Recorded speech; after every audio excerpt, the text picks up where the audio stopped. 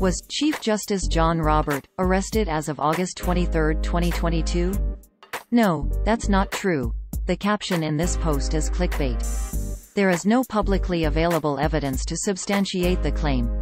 The accompanying video does not mention such an arrest and multiple errors suggest a credible news source did not create this post. The claim originated in a Facebook post on August 22, 2022. It opened, quote, Chief Justice Robert has been arrested today update end quote. This is what the post looked like on Facebook at the time of writing. Source, Facebook screenshot taken on Tuesday, August 23, 17 hours 11 minutes and 21 seconds 2022 UTC.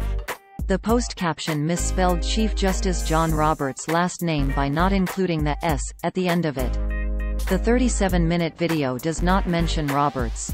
Narration talks about climate change, censorship, global elites controlling resources, George Soros and Bill Gates wanting a one-world government, and more.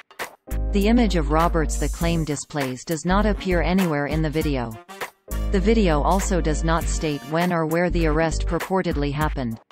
It would be a significant news event if Roberts were arrested. However, no credible news outlets have reported any such arrest as of August 23, 2022. Lead Stories found a similar claim false on February 14, 2022.